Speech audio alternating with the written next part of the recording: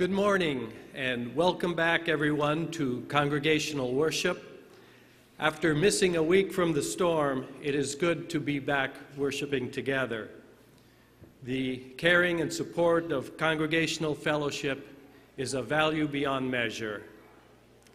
Today, we move directly into the second Sunday of Advent. During this Advent season, we will be reflecting on God's righteousness. The passage I will read from Jeremiah evokes a righteous branch springing up from a dead or damaged tree. The uh, display here also models that. As Jeremiah was quoting these words from God, the line of King David's dynasty was coming to an end. Pondering God's righteousness is a little unsettling to me. It brings to mind the Old Testament association of God's righteousness with doom and destruction and judgment. It's a little scary. Yet, even in the Old Testament, God's righteousness is layered with redemption, with hope and restoration. God's righteousness is God setting things right. It has been a difficult week for our family and for many of you who know and, and love Billy. There has been other loss. Pastor Bob lost a barn. Some of Renee's friends have been uprooted from their homes in Anchorage. Others in the congregation are dealing with their own loss and pain. We are fragile, we are fragile beings in a broken world. The evening news hour is a difficult watch. In Advent, we hear the promise of God to come and set things right. In Advent, we are waiting and watching for God in Jesus to show up with righteousness and set things right in us and in the world. Advent is a time of expectant waiting. For the, for the next minute or so, I invite us to wait on God in silence. We can put our concerns and distractions aside for a bit and simply wait on God quietly. Following that, I will read the, the Jeremiah passage. Let's relax, calm our thoughts, and wait on God who sets things right.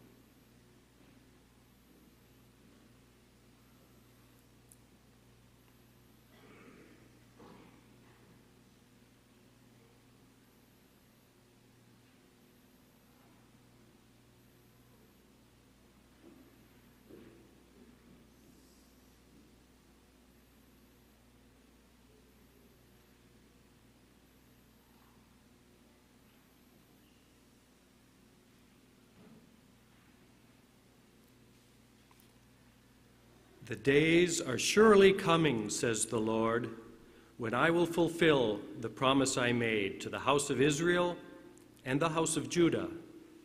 In those days and at that time, I will cause a righteous branch to spring up for David, and he shall execute justice and righteousness in the land.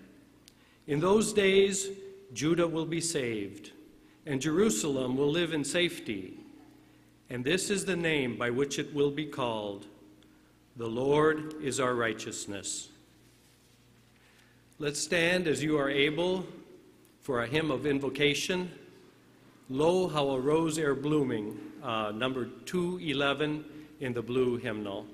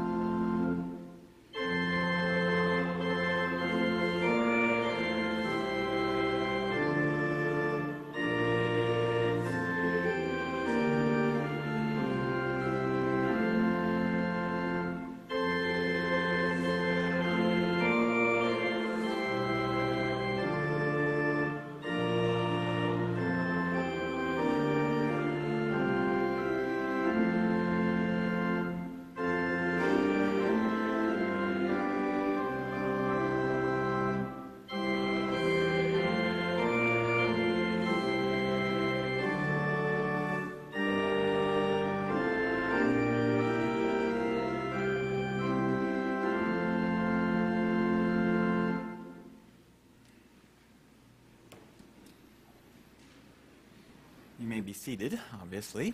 And anyone who is young, a, a, ch- a child who'd like to come forward for the children's story, I'm actually going to meet you at the back door. So I'm going to go to the back door, and any children who want to come up for the children's candle lighting time can meet me at that back door.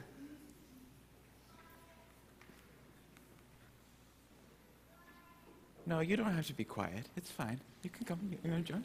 It's children's time. We can shout for joy, even Kason. Okay, you're going to wait with me here at the back?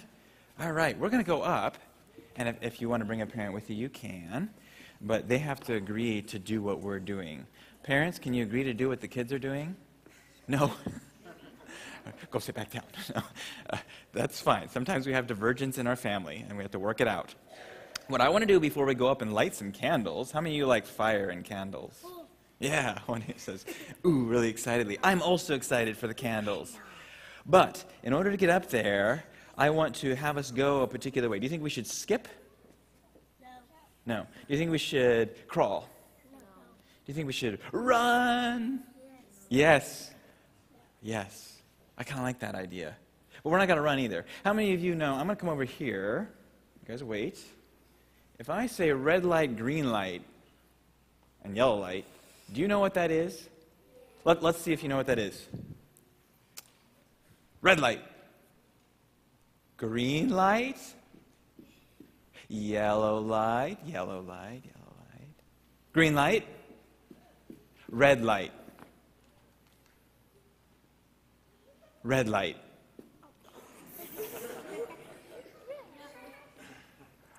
Red light. Green light. Yellow light. Red light. Look how much farther we, ahead, we are ahead than they are. It's not a race. Yellow light. You guys want to catch up to us in the yellow? Green light. Let's let them catch up to us. Green light. Okay, now red light. Now, we're going to walk around the corner. We're going to go toward the candles. Anybody find where the candles are in this big building? Yeah? Okay, so I want the littlest ones. We're going to walk around the table very carefully, not to knock it. Don't touch it if you can help yourselves. And I want the littlest ones to sit on the steps and the big ones to sit around the steps, okay? Is that agreed? So now we're green light. We're going to go sit by the steps. Okay, I want the littlest ones, if they want to, to sit here on the steps, and the others, bigger ones. Joanna, you can sit here beside me. There we go, Rhett. Okay. Okay, did we get up here very, very quickly, or did it take us a while? It took us a little bit. Okay, a little bit of time. Not, not forever, not super long, but it took a little bit of time. So, I want to ask you another question about wait, uh, taking a long time or a little bit of time. What season are we in right now? Winter. Oh, yeah. And winter's a very long season. Any other seasons we're in that are like not, not winter, spring, fall, or summer? What, what time of year? What, what holiday season? Joanna. Christmas season, yeah. We're, and actually, and I don't want to get nitpicky, but I'll, I'll get nitpicky with the adults. We're not actually in Christmas season. We're in Advent season. But we often conflate the two. We are in a season of Advent and Christmas. And uh, is it Christmas yet? Christmas Day yet? No. Uh, how long from now is Christmas Day? Is it like a really, really forever long time, a medium time, or like really soon? You think it's really soon? Okay, good. Anybody feel like Christmas is still kind of a ways away? It's a while yet. Eli thinks it's a while. It is. It feels like a while, doesn't it? Well, when we get into the Advent season, the word Advent is kind of a funny word. It just means when people show up. If, if I come into this building this morning, that was when you came in. That was your Advent. You you showed up, um, and so we're waiting in Advent and Christmas season for who to show up. Anybody know? Who are we waiting to show up? Anybody? What, what person in our Bible stories, what person in our faith? Yeah, Rhett. God. Yeah, we're waiting for God to show up, and specifically God with Jesus. Uh, that's pretty exciting. So we're waiting in the Christmas season. You know the Christmas stories where Jesus is, like, how big is he in the Christmas stories? Like a big adult or a small kid or a tiny baby? Do you know your. Oh, he's big? In some of the stories, he's big. He also shows up in the, the nativity, the Christmas story, as a, as a newborn baby, like some of these guys here. And it takes a long time for us to wait for newborn babies like Jesus to show up. It takes a long time for us to wait for Christmas to come. And it took you a fairly long time to get down the aisle for this children's story this morning, didn't it? We went slower than we could have. Yeah, we had to wait, do some red light, yellow light before green light. Each Sunday before we get to Christmas, we light a candle behind us. Okay? Part of it is uh, they remind us that in a dark world in the wintertime, when it's cold, God lights a bright light and warmth to keep us warm and uh, to keep the, the scary darkness away. But they're also a reminder that when we walk in, that we're still waiting, that Jesus is coming, that light is there. We're waiting, the light's on, but not all the candles are lit yet. So we light a new candle each week. This is actually the second week, so we're going to light two candles. The candles simply remind us that we are still waiting, even though it takes a long time. Okay? So I want two of you to help the congregation have their candles. Who can help me light? Uh, Prabha, you want to help? You want to help? Okay. I'm, I'm going to hold. You guys, you guys can maybe help next, next week. Rhett, do you want to move down a step? Caden, I'm going to have you go first. And you're going to do this one. So if you want to just step here by Joanna. And do you know how to work this, or should I help you? Okay. He knows, he knows. Go ahead and light this first candle. Okay. This is Ooh, he's good at it. Okay, is it lit? Okay, this candle reminds us that even when the, it's dark and cold, God shines a bright light to keep us from being scared and keep us warm and happy. I want you to, probably, you're going to light the, light the next one? I'm going to help you, okay? You, you guide my hand, okay? I'm going to light it, and you guide it. Ready? Point it where to go. Okay, is it lit?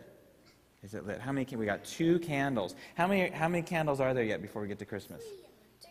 There's three more, yeah. We've still got some waiting. We're kind of in the yellow light season of walking to Christmas. Kind of slow. We got a lot of candles to go yet. But Jesus is there. Just, Jesus is coming, and it's going to be hard to wait, but we're going to wait together. Okay, that way we don't all get impatient and run ahead with green light. Okay? You guys can go back to your seat after I have a prayer. Um, I just want us to, to know these candles help us keep on waiting. Uh, let's, let's pray to Jesus, okay? Dear God, thank you for promising to come and be with us this morning. Thank you for coming as Jesus, uh, as a young boy um, in the Christmas story. We are eager for you to show up here and give us life and take away our fears, but we also uh, need your help because waiting takes a long time, and waiting is hard. It's hard to wait. So help us as we light these candles to remember that you are, are coming, no matter how long we have to wait, and we have other people around us helping us be strong in our waiting, be patient. Thank you for being with us. In Jesus' name, amen. Okay, you can walk back to your seats at normal speed, and we'll come back up next week for some more waiting.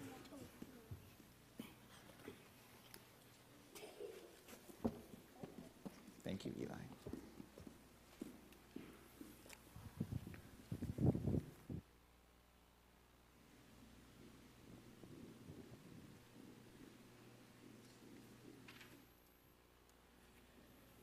As adults, we might not be struggling to wait for the same thing the kids are waiting for. We might be anticipating uh, the arrival of family, or we might be anticipating the end of winter or the melting of the snow. Or, as a congregation, we're anticipating healing to the hurts we feel with the situation with Billy or with others in our own families. Some of you are facing health concerns. So we come into this time in our worship waiting for God to set things right for God's righteousness to come in the form of Jesus and through the Holy Spirit. And what better thing to do than while we wait than to pray? To reach out to God with our words and our thoughts together and say, God, we're sitting here waiting for you to set things right. We need your help. We need you to know our needs. So this is your time. I'm going to have the ushers come. There we go, with microphones. Um, and I'm going to, uh, the Brockmiller family is actually going to give an update, but I'm going to ask that that come toward the end because uh, I don't want to have that come and be followed by an announcement or something. I want you to feel free, knowing that, that uh, Billy's family and Lee and Marilyn and the others are facing such a, a heavy burden this week, and so are we. I don't want you to feel like you your needs are not worthy to be shared here as well. God doesn't categorize our needs by small and large. This is a, a, time for sharing any needs or prayer requests or praises or even a few announcements if needed. So please raise your hand, share with us. We'll pray for you. And then we're, when we're done sharing, I'm going to ask Cindy to, to give an update from the family. What other things do you carry into your prayer time? Prayer requests, praises, thanksgivings, announcements. What do you have? These young men will give you a microphone. I see Anna's got one in the back. If you want to take it to her, you can come back then after that.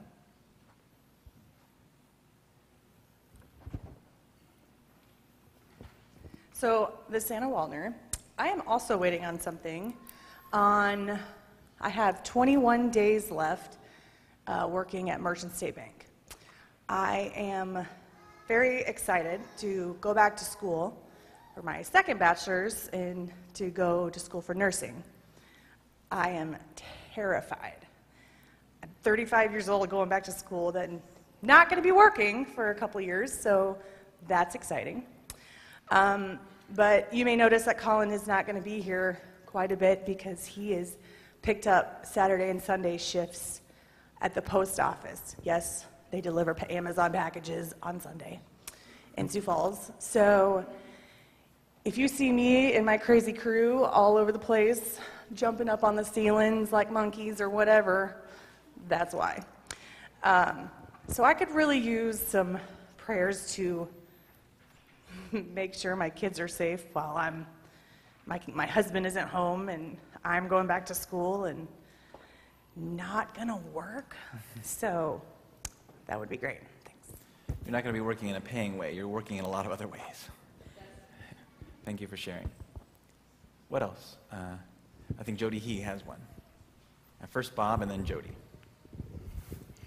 Uh, this is Pastor Bob. Uh,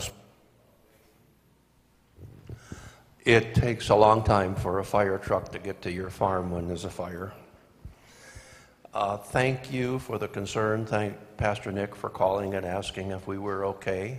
We were both fine. Um, we think it's an electrical fire.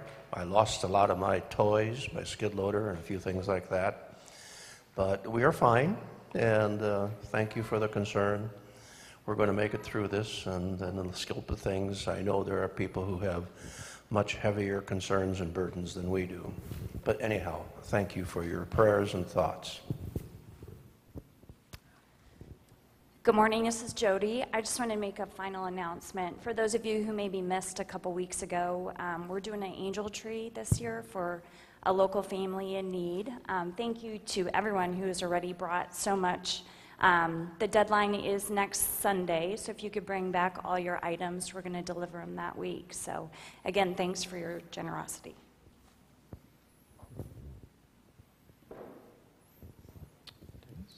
This is Dennis, and I just wanted to uh, report and give thanks for a good trip to the Sacred Shawl Shelter in Martin, South Dakota. Our five of us uh, went with the MDS van and trailer to uh, do some uh, finishing up in their facility there and repair work, and uh, we had a, a good time and got it all done in two days. So we feel blessed. Thank you.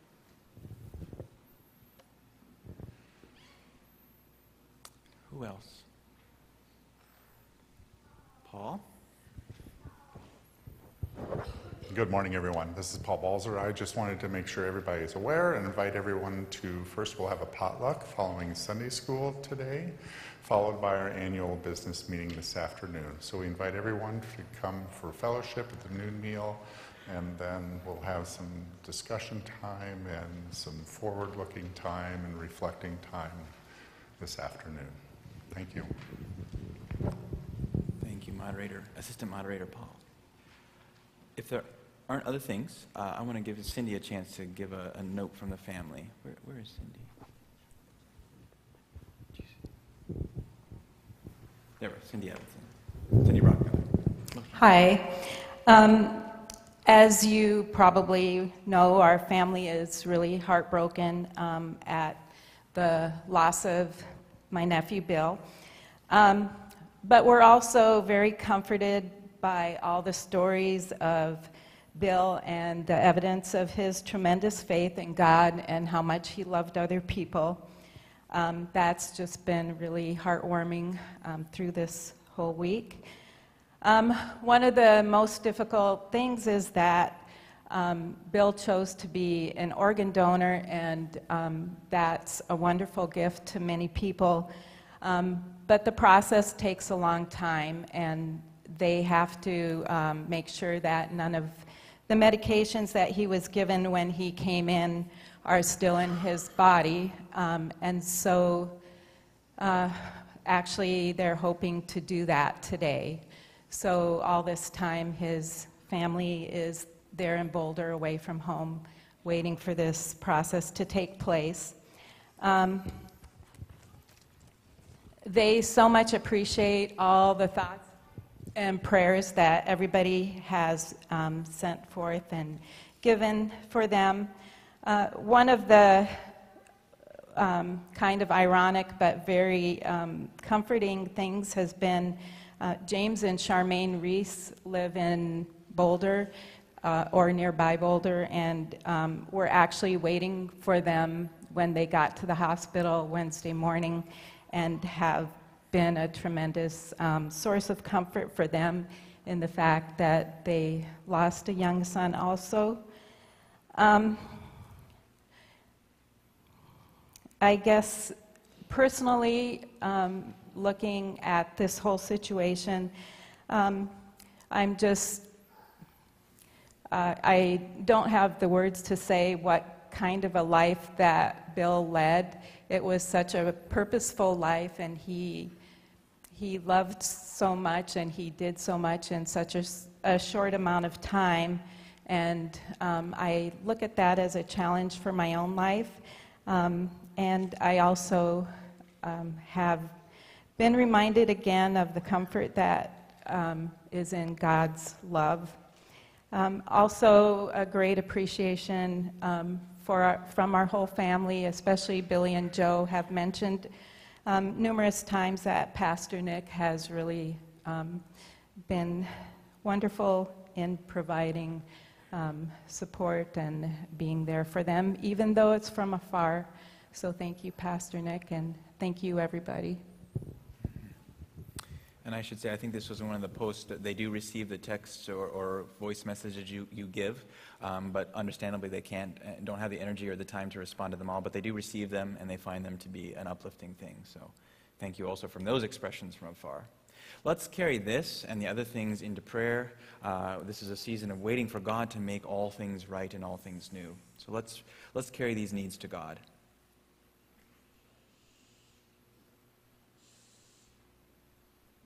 God, we begin to understand just a little bit of what the people of Israel were feeling right before Jesus arrived. Great tragedy, great pains, great loss, and they eagerly anticipated that you would come down and be with them. This week, when we heard the news, God, that Billy had been in a very critical skiing accident, we also felt the need the anguish, the call for you to come down and be with this family, come down and be alongside Bill and to be alongside us.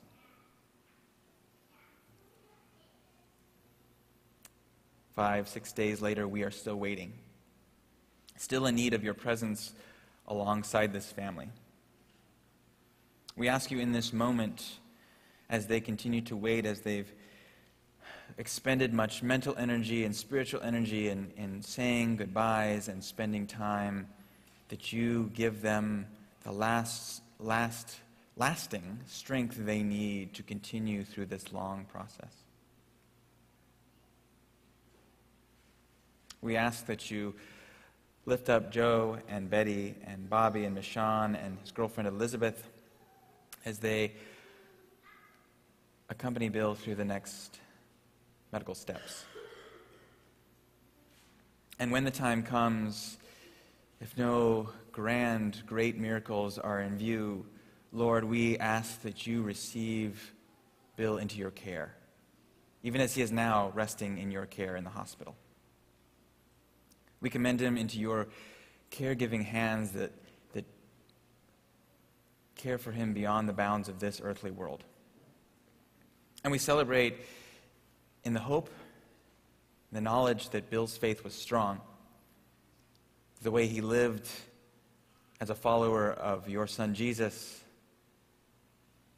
reminds us that he will be called a faithful servant.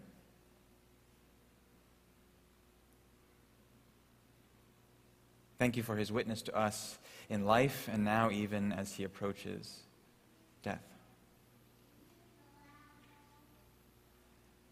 Continue to give us the endurance to support the family, even if it's just with a word here or a silent hug there when they return.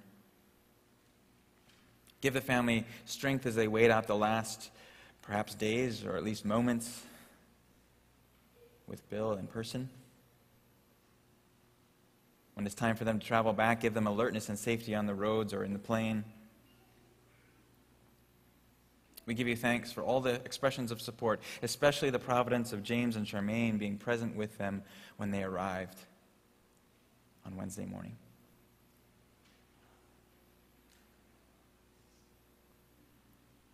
Lord, rend the heavens and come down. We are waiting for you to fulfill your promises of life, and yet we still live in a world in which accidents and death and tragedy occur. We also carry with us into this worship space a handful of other griefs or challenges. The losses that Bill, uh, Bob and Marla have experienced as a surprise on Friday morning are difficult, but we also give you thanks with them that they are offset by the safety that Bob and Marla and their, their house and the mother dog experienced, even the loss of the barn and pups. We give you thanks for the safety that Renee and her neighbors in Anchorage felt as a result of strong building codes there.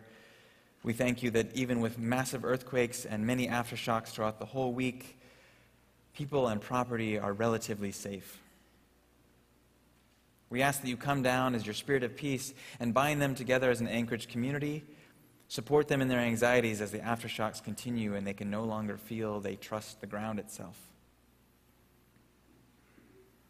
We give you thanks also for the difficult challenges, uh, your presence in the midst of difficult challenges. We hear Anna excited about a new stage of life, responding to a sense of change in vocation, a call from you to be a caregiver as a nurse, but we also lift her up and her family, knowing that this transition from paying work to school brings with it many challenges in childcare and in finances and family life. Strengthen them through the next years. Bring them calm and order and daily bread for their household. Bless her as she begins her schooling work. We thank you for the families in the neighborhood, in the community, in Marion, who have need to, to which we are responding. Help us to see them as beloved neighbors and not just objects of our pity or our generosity. Help us to care for them as people and extend our love beyond this season. We thank you for the work that Dennis reported in Martin, the Sacred Shawl shelter that MDS helped continue working on. We thank you that there are people in the church and in this world who care enough about what Jesus said to care for the homeless and the hungry and the cold, that they're willing to put their money and their time on the line to build places of warmth and shelter. Thank you for MDS's work and Dennis's example, traveling here and there to serve in places of need. We ask now that, we, that your presence would be with us in our worship time, that you would strengthen us just as you strengthened Billy in his life, to be people of strong faith, of exemplary character, living out life and vocation to the fullest, that we may minister to everyone who meets us. We call you to come and be among us, and yet we know that somehow mysteriously you already are. And for that, we give you thanks. In Jesus' name, amen.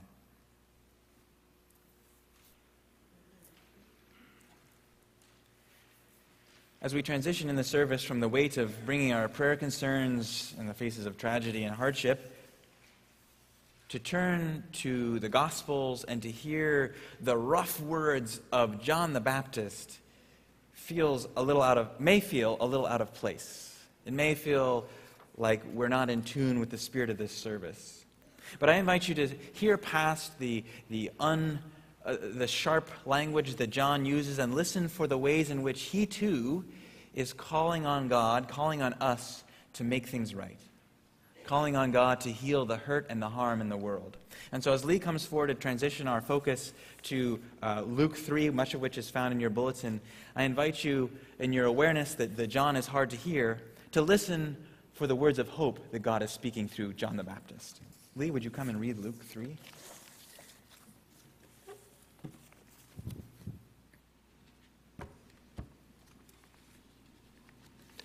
Brad Anderson has been teaching our Sunday school class how to read Scripture as a narrative.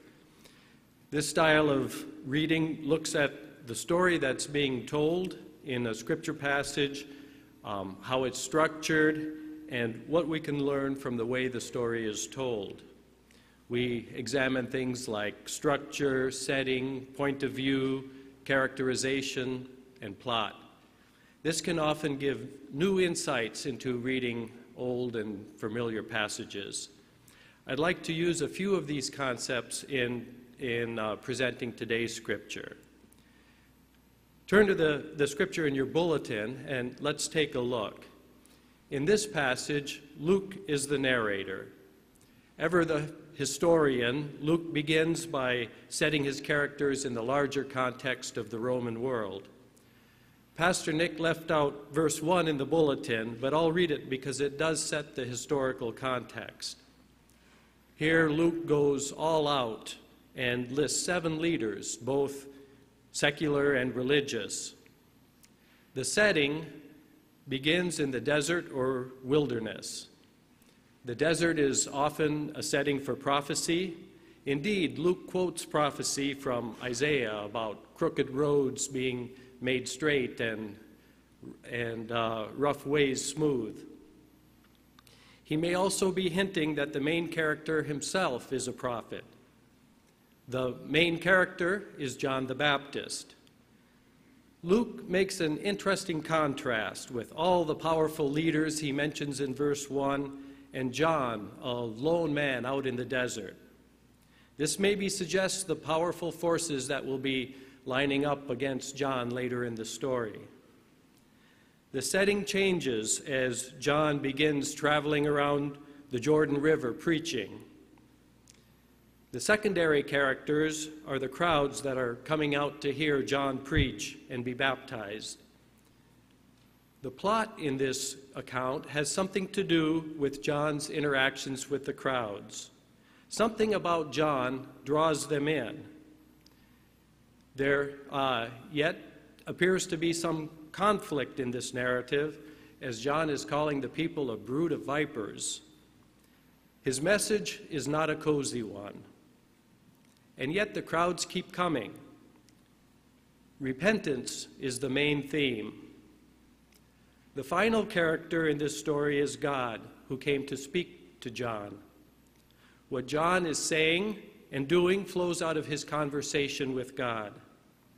As we read this, we ask ourselves the question what does this narrative tell us about God?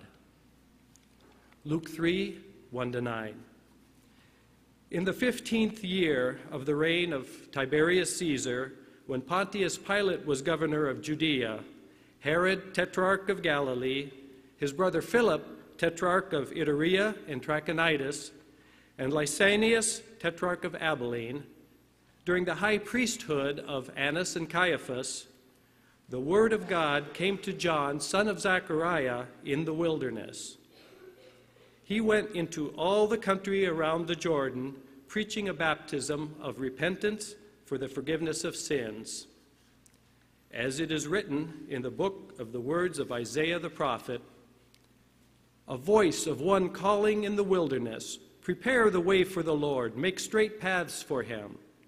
Every valley shall be filled in, every mountain and hill made low. The crooked roads shall become straight, the rough ways smooth, and all people will see God's salvation. John said to the crowds coming out to be baptized by him, You brood of vipers, who warned you to flee from the coming wrath? Produce a fruit in keeping with repentance. And do not begin to say to yourselves, We have Abraham as our father. For I tell you that out of these stones God can raise up children for Abraham. The axe is already at the root of the trees, and every tree that does not produce good fruit will be cut down and thrown into the fire. In response to this, to this scripture reading, let's sing uh, from the blue uh, hymnal number 183 on Jordan's banks, the Baptist cry. And you may remain seated.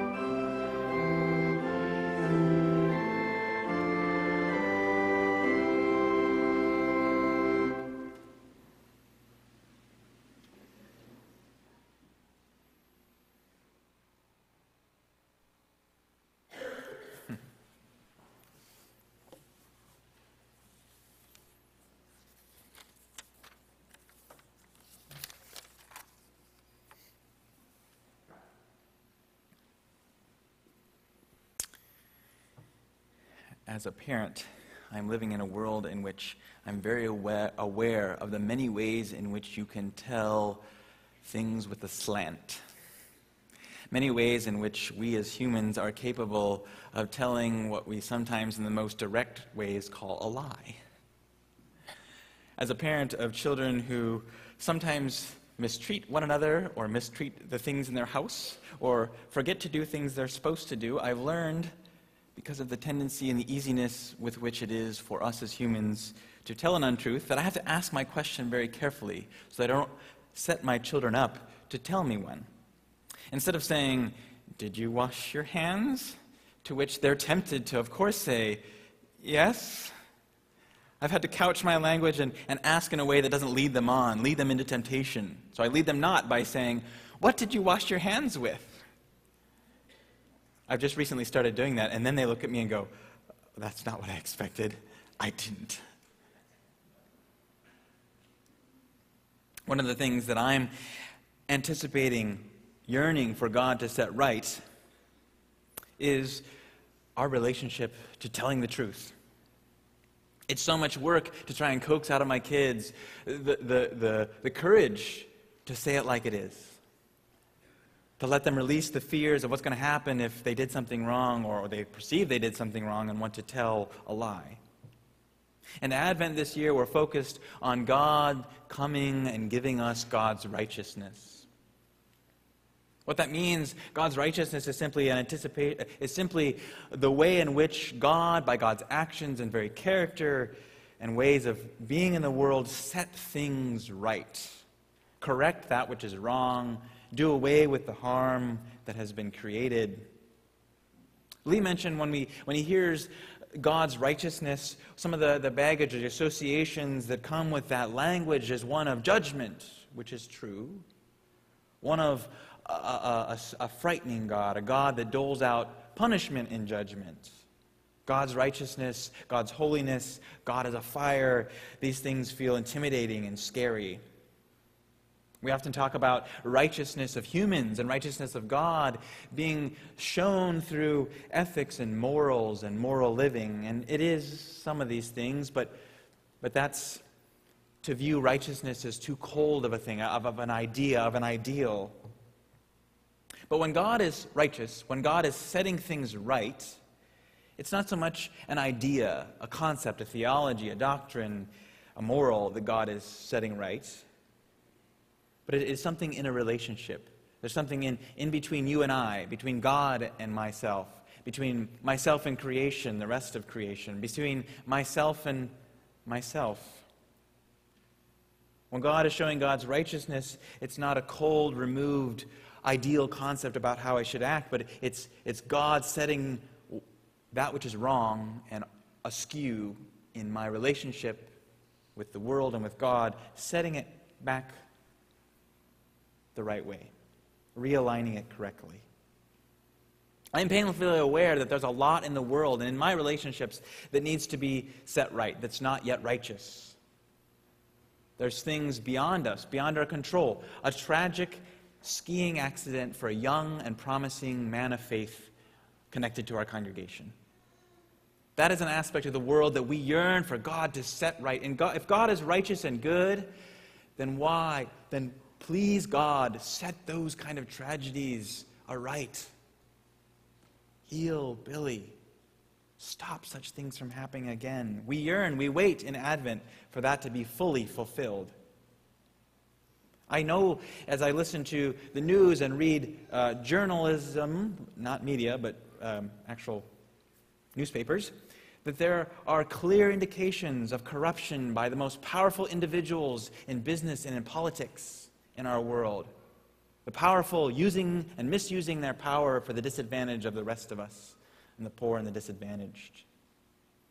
I read climate reports from varieties of scientists around the world, and they are alarmed, they are, they are frightened that our natural world will be fine in your lifetime and probably in mine. But within my ch- children's lifetime, it will be extremely difficult to have safe and secure human life. All these things cause me to go in Advent, Dear Lord, as last week's text said, rend the heavens and get down here and set things right because they're very askew. I'm also aware that there are things in me, my own tendency, like my children, to tell things slant, to tell things untrue. I know that I don't live out God's ways rightly or speak God's ways rightly or relate to you and God and others rightly. I know my society doesn't.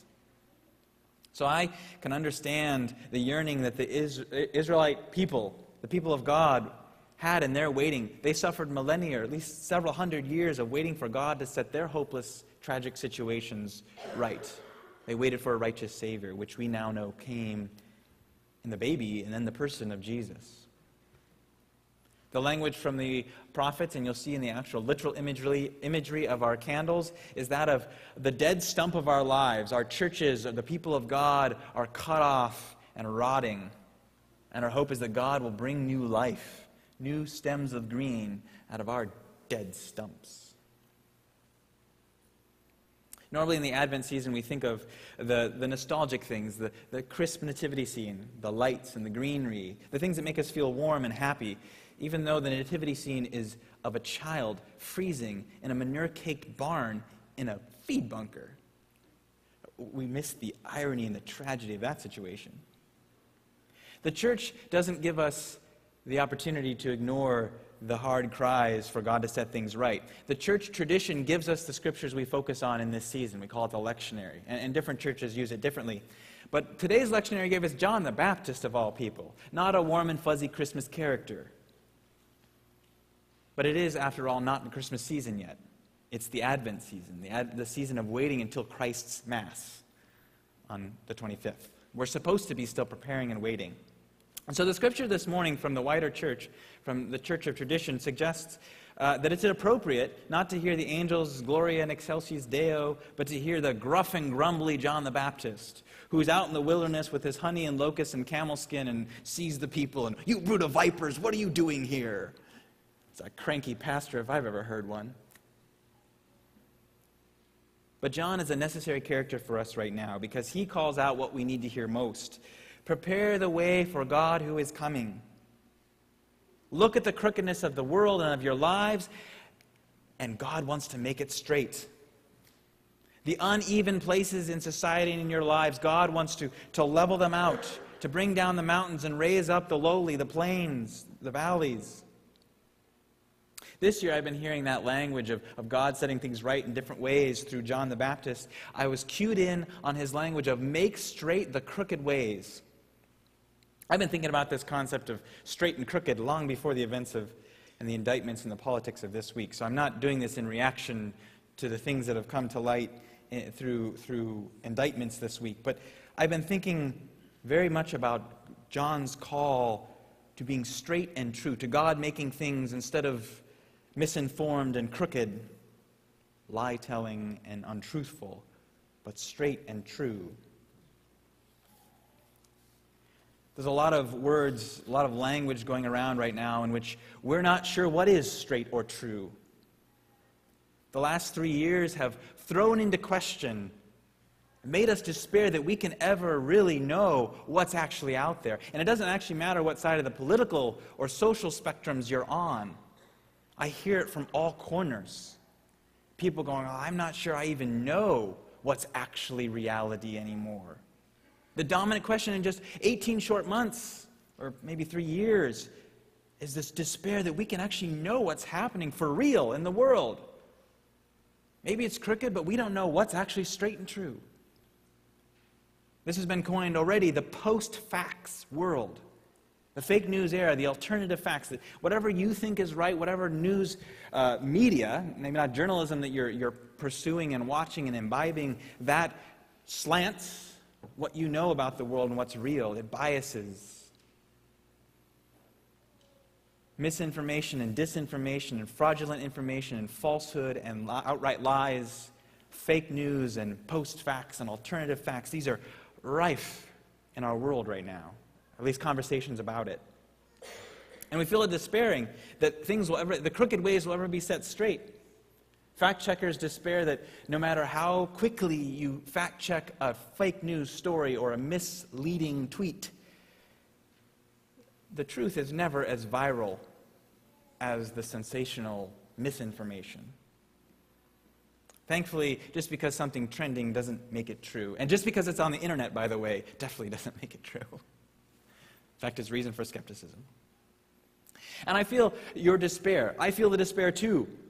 But the difficulty discerning what is real and what is not real is not a new thing.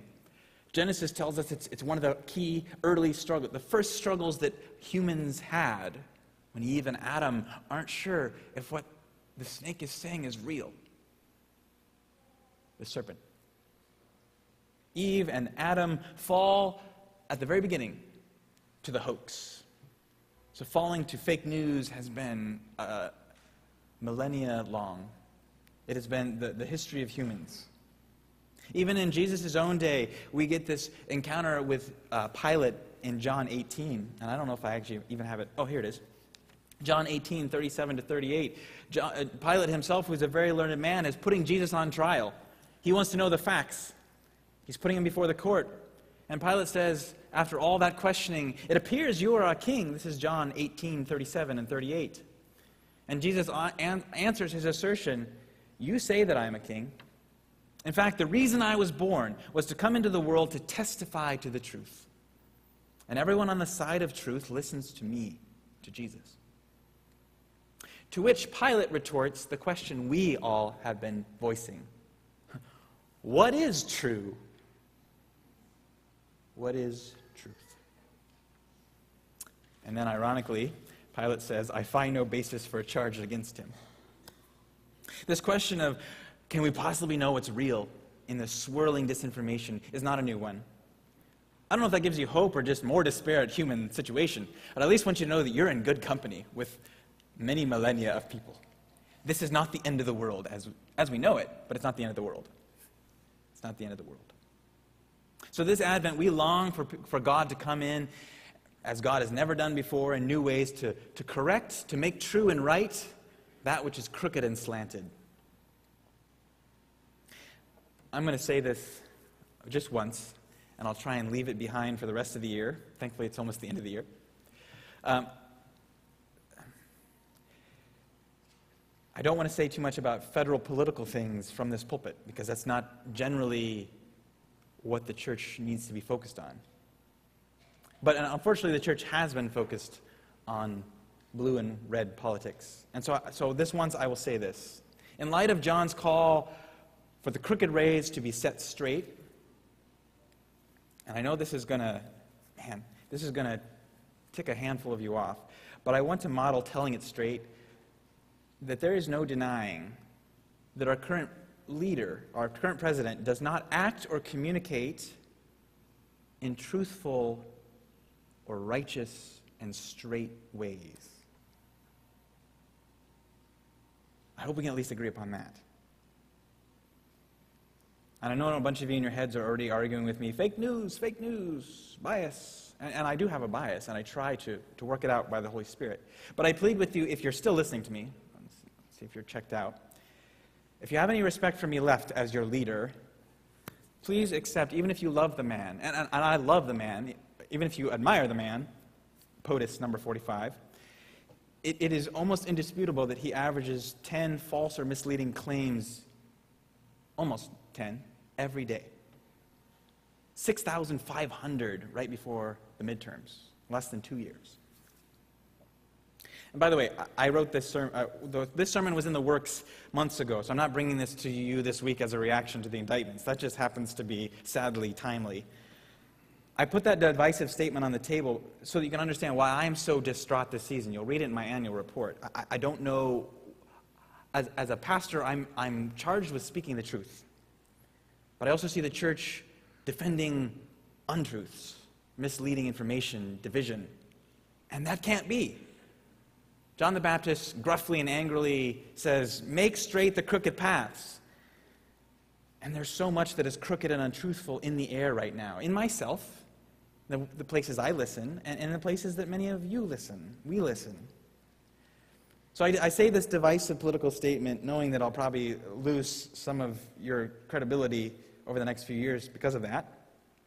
But I have to say it because we can't be, as a church, defending political or social idea lies. I grew up in the 90s in which my family, myself, my church, Lower Deer Creek, uh, were very clear. We had no problem publicly calling out the unrighteousness and uh, lies of Slick Willie. Anybody around here know who Slick Willie was? Which guy is that? Oh, maybe it's not a term. Maybe that's just a Rush Limbaugh term. Sorry, I was a ditto head too that endears you to me. Uh, Slick Willie is Bill Clinton. And I grew up in a church in which it was, it was regular and, and easy for us to call that out. And, and, and also to call out Hillary and their, you know, their, their richness and their privilege in the years since then and even very recently. But then I was bothered by the fact that those same folks, my own family and myself, uh, when other political leaders outside of our par- inside of our favored parties did similar things, like now, we ended up defending and even lifting up the behavior, not as unrighteous and untrue, but as eh, maybe God led, Cyrus like, Cyrus like. And I want to warn you this hypocrisy, this, this inconsistency is seen by my generation and probably some others as we flee the church for this and other reasons. The church has no business whatsoever defending human leaders when they mislead and when they live unstraight and crooked ways. The church is in the business of truth telling not worldly partisan slant or defending it. And it's ironic, actually. I think part of the reason we, we really, had, many of us found Trump refreshing early on was that it seemed like his, his unvarnished style of speaking felt like sh- shooting it straight, straight from the hip or whatever. Um, telling it not slant, but just telling it direct. In a world in which we had gotten tired of the work uh, uh, uh and the, the the, the world of the last decade, we've had to be ever more careful about how we say things because there's lots of sensitivity. We have to be politically correct and, and careful and inclusive, and that gets tiring. And we watch the politispeak and the political correctness, and we wonder, what are those church leaders and those political leaders and those media leaders, what are they really saying under their nicely couched phrases? We got tired of wondering what was hidden under the, the careful language, what intents and meanings. And so we found it refreshing, I think. We felt like it was truth telling when people, when candidates, tell it like they saw it. That looked like John the Baptist, brash and bold and clear. Prepare the way, make straight paths from the crooked, drain, I won't say it. So we swooned when instead of John the Baptist as a brash prophet, we got a brash billionaire. And, and, and it was wonderful because I didn't feel like anything was being hidden. No political correctness, not hiding deep or complicated meanings. But the reality is that telling it plain like we see it sometimes is just our own bias. It doesn't mean we're actually telling the truth. We humans, one of the things we know, and I know about myself, I know about my children, I know about you, I know about leaders, is that we are, it's very easy for us to be self deceived. To think we're telling it with the best intentions and the correctness, and in the end, we're actually telling it crooked and slant because we're so easily mispersuaded, biased from our experiences. So, in all this season full of false and misleading claims, and the church, what, what really is troubling is not the leaders, because I expect the leaders to do that. I think power and money and uh, prestige corrupt and, and drive you to those things. Just like when I ask my children the wrong question, they're tempted to lie. I think those things, maybe I'm, I'm jaded, are, are probably what's to be expected of people in power. What bothers me is that we, the church, we, the members of Christ's body, are defending what that which is crooked rather than holding up that which is straight. And so this morning, even though John the Baptist feels to me like he's speaking, at first, it feels to me like, oh, he's speaking to political leaders. Then I noticed what I left out of the bulletin, which Lee helpfully brought up. These people of power. You don't have it with you in the bulletin, so maybe turn in your Bibles, your actual Bibles, to it. Um, oh, where in my notes is that? Happens when you print the scripture instead of um, I want to read, ah, here it is. The people who are in view when John the Baptist started preaching. John, Luke 3 starts with this verse. He sets the stage in a very grand way. There's a ton of powerful, the most powerful people there. In the 15th year of the reign of Tiberius Caesar, when Pontius Pilate was governor of Judea, and Herod was tetrarch of Galilee, and his brother Philip, ooh, nepotism, uh, tetrarch of Iturea and Trachonitis, and Lysanias was tetrarch of Abilene, and in the religious sphere, during the high priesthood of Annas and Caiaphas, during all the powerful reign of those people, bracket commentary, the word of God came to da, da, da, John. Wait, what? Tiberius Caesar, Pontius Pilate, Herod, Philip, Lysanias, the high priests, and the word of God came to, wait, the word of God came to John, son of Zechariah, in the wilderness. Don't miss the point of contrast here. Luke 3:1 lists the most powerful and probably in many respects the most crooked people in John's day. With the biggest armies and the biggest coffers and the most influence. And those leaders are the ones by our logic, including the highly respected religious ones, the pastor, who we think would receive God's straightening word, because they, especially the leaders, I mean, Tiberius Caesar needs God's road straightening word. But God's right making, truth telling word doesn't show up in Rome or Jerusalem or the temple, but it's way out on the margins in a back country, in the wilderness with a dis- disowned, annoying prophet, someone at the margins in the wilderness to John, son of Zechariah, a disgraced, well, maybe disgraced, uh, uh, priest who was made silent, to a nobody and a nowhere. So here I am in this age wanting, wanting the courts and God's truth telling, the church to stand up and point the finger to on high in Jerusalem, in D.C., or in Pierre, or in Sioux Falls. And if I'm paying attention, Luke 3 names those people and then points the finger down to the rest of us. It's not that the leaders The powerful don't have a responsibility. The Old Testament prophets make it clear you leaders need to care for the sojourner and the poor and the widow and the orphan and all who are disadvantaged. It's clear from the Old Testament throughout that leaders have a responsibility to tell it and live it straight. But there's also probably an awareness that, that they're probably the least likely to make the change. And so John the Baptist and God turns to the wilderness and to the people flocking to the margins and speaks it to them. You all turn yourselves around. You all make straight in your lives that which needs to be straight. This is true populism. Not turning to a billionaire leader, but taking stock of our own lives and our own communities and our own churches and going, okay, we are irritated, we are irked, we are ticked at what's going on above us. But let's not let that be an excuse to pay attention to what's crooked among us and in me. John the Baptist, again, is crude. You brood of vipers, why'd you come to hear me preach? Who told you how to get out of your miry muck? Okay, if you're here, turn around, repent. Bear fruit that is in accordance with God's righteousness. That way you don't get cut down and left as a dead stump.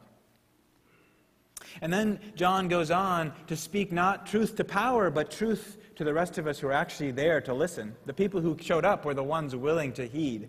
And so that I, we didn't print it, but John goes on. So if you haven't turned there, go ahead and turn to Luke 3. John the Baptist gives this call that's in your bulletin, and the crowds respond because they're, they're receptive. They want to hear this. They're not going to tweet objections. Okay, what should we do then? Verse 10 asks. The crowd asks, What should we do?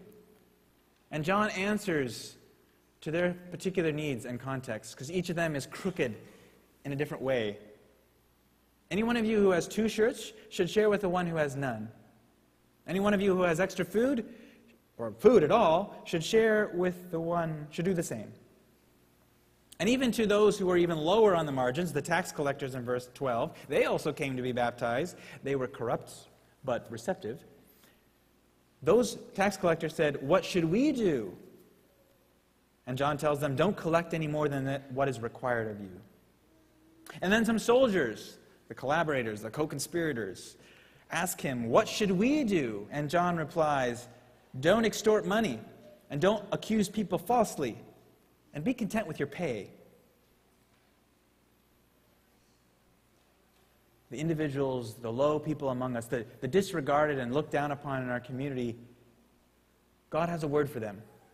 A word that at first seems like scary righteousness, judgment, accusation.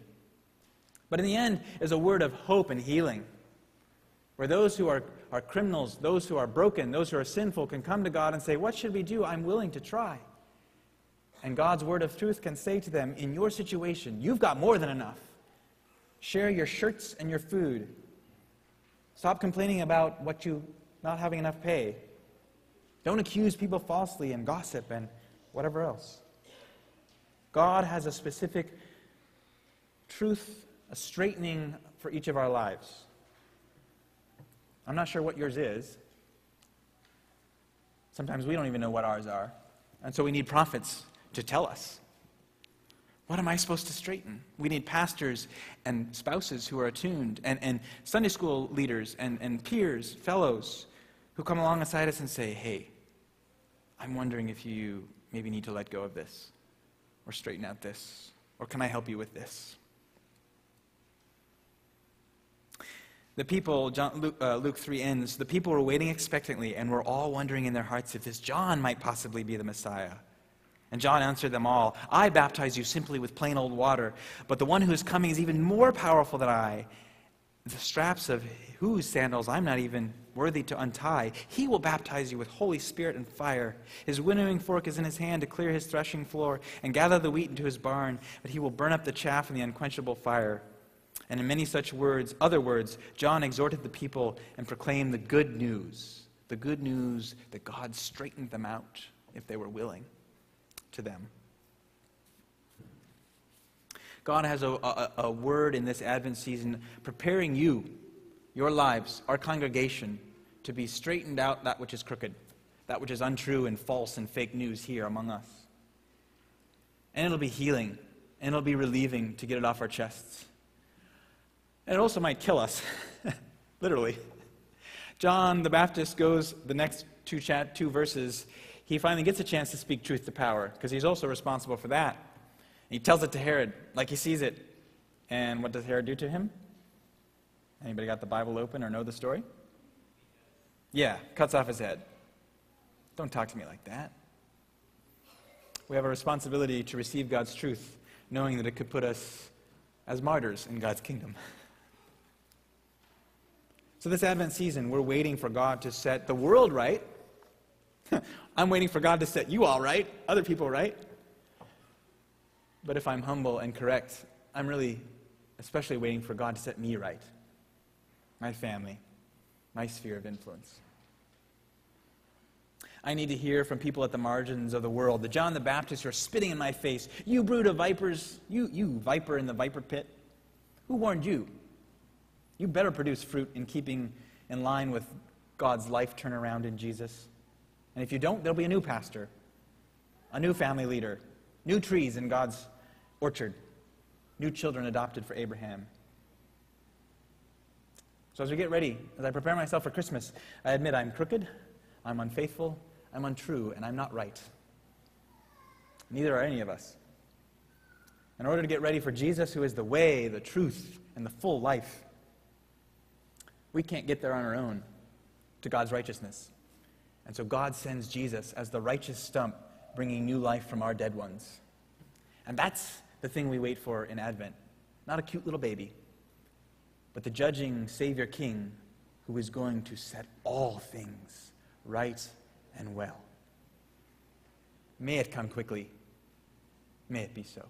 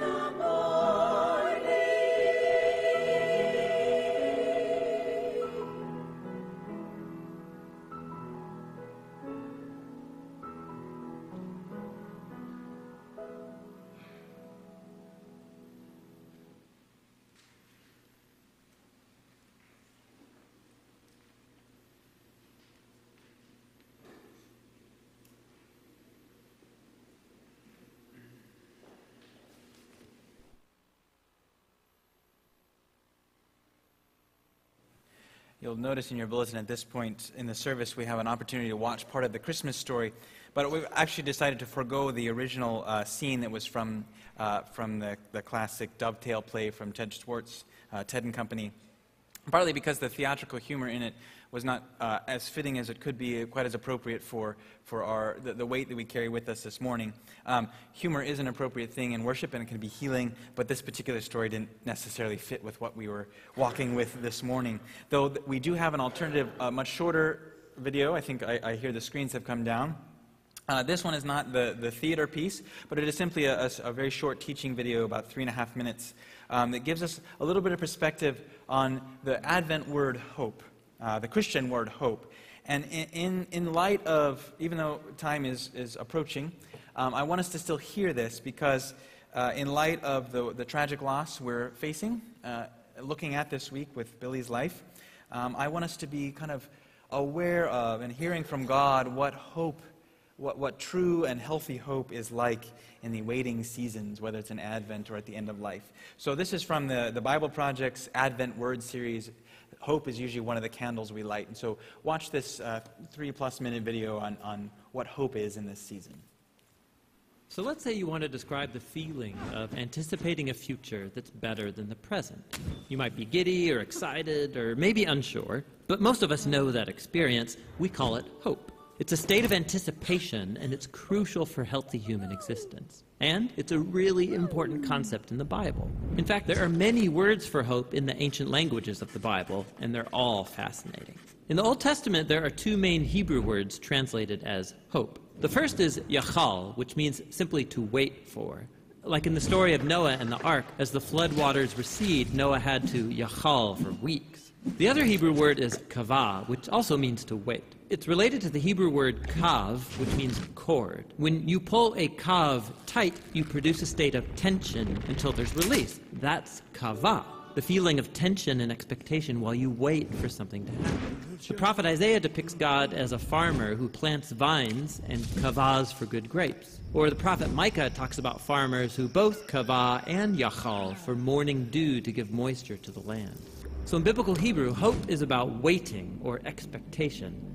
But waiting for what?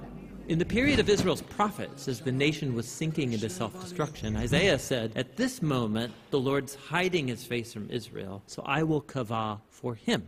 The only hope Isaiah had in those dark days was the hope for God himself.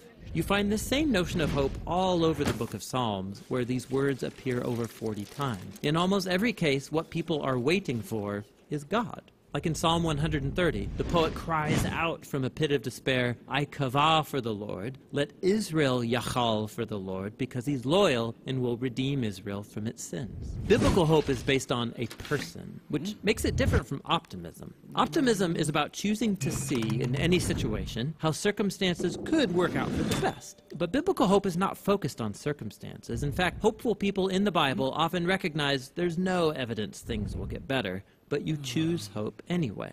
Like the prophet Hosea, he lived in a dark time when Israel was being oppressed by foreign empires, and he chose hope when he said God could turn this valley of trouble into a door of hope, like the day when Israel came up from the land of Egypt.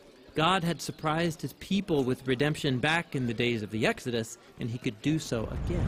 So it's God's past faithfulness that motivates hope for the future. You look forward by looking backward, trusting in nothing other than God's character. It's like the poet of Psalm 39 who says, And now, O Lord, what else can I kavah for? You are my Yachal. In the New Testament, the earliest followers of Jesus cultivated the similar habit of hope. They believed that Jesus' life, death, and resurrection was God's surprising response to our slavery to evil and death. The empty tomb opened up a new door of hope, and they used the Greek word elpis to describe this anticipation. The Apostle Peter said that Jesus' resurrection opened up a living hope, that people can be reborn, to become new and different kinds of humans. More than once, the Apostle Paul says the good news about Jesus announces the elpis of glory. In both cases, this elpis is based on a person, the risen Jesus, who has overcome death. And this hope wasn't just for humans. The apostles believed that what happened to Jesus in the resurrection was a foretaste of what God had planned for the whole universe. In Paul's words, it's a hope that creation itself will be liberated from slavery to corruption into freedom when God's children are glorified.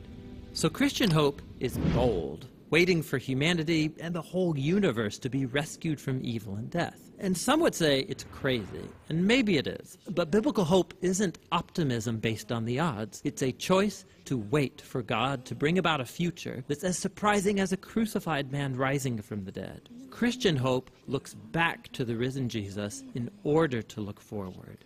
And so we wait. That's what the biblical words for hope are all about.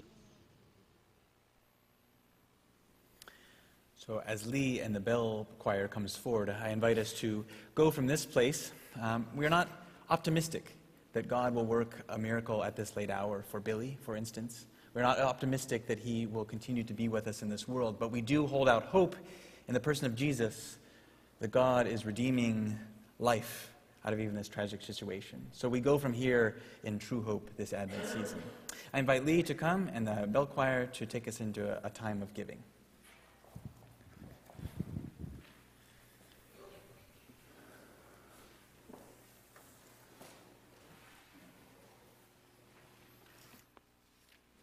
Our offering this morning is for Swan Lake Christian Camp, and we will also accept offerings from last Sunday, our Harvest Thank offerings. Uh, if you have those with you, you can put them in the plates as well. Um, I'll invite the ushers to come up and we'll have the offertory prayer.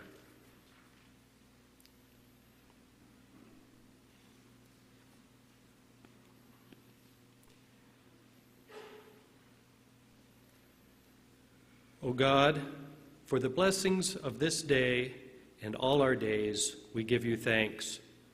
We thank you for the ministry of Swan Lake Camp and the many lives it has touched, counseled, and mentored. Bless these gifts towards the ongoing work of the camp, and bless the many and varied ministries supported with harvest thank offerings. We pray this in your name. Amen.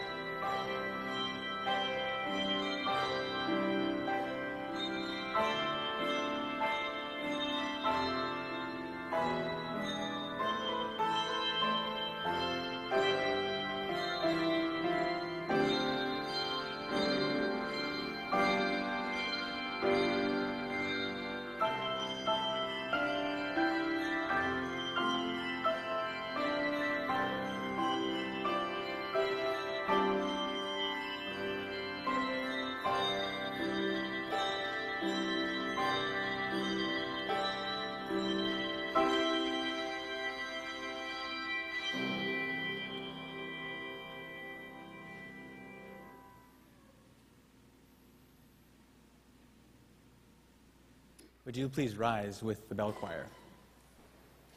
They ring ode to joy and joy to the world, because indeed, God's voice is calling to you all, even in your darkest wilderness, preparing a place for Jesus to come, making straight the most crooked things in your lives. Whether you sit in a dark and deep valley or elated on the mountaintop this season, God is making the crooked things straight in your lives and the rough places smooth. We anticipate the coming of Jesus in which all people will see God's salvation. Go in hope. In Jesus' name.